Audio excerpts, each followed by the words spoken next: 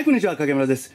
今日は、あの、NEC さんのワープスター、あ A ターム無線ブロードバンドルーターと、えー Wii U の Wi-Fi 設定の説明の動画ご一緒にご覧いただきたいと思います。まずあの NEC さんのあのワープスターの方なんですけれども、型番に関わらずここに楽々無線スタートというボタンがあります。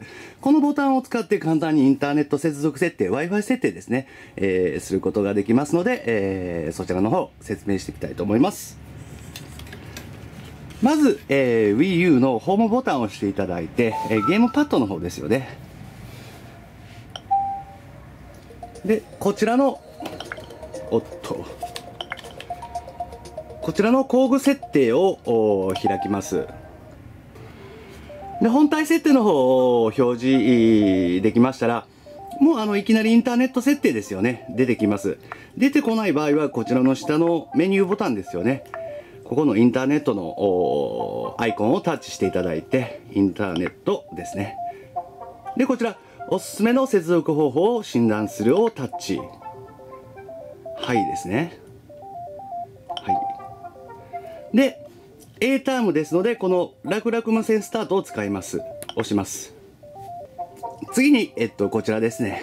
右側に行っていただいて、アクセスポイントの楽々うースタートボタンを長押しですよね。えーしてくださいということですので、えー NEC さんのブロードバンドルーターの楽々無線スタートのボタンを長押しします。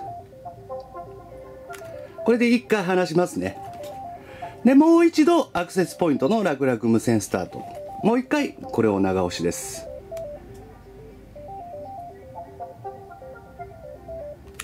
これ点灯に変わりましたね。これで、えー離していただいて結構です。あとは待つだけですね。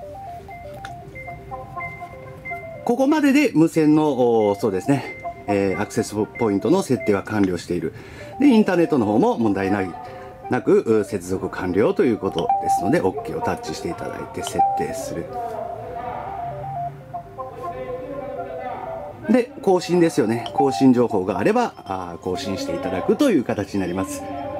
これであの、オンラインゲームとか、あインターネット YouTube 見れるようになっておりますので、えー説明の方は以上となります。それでは簡単なんですが、失礼させていただきたいと思います。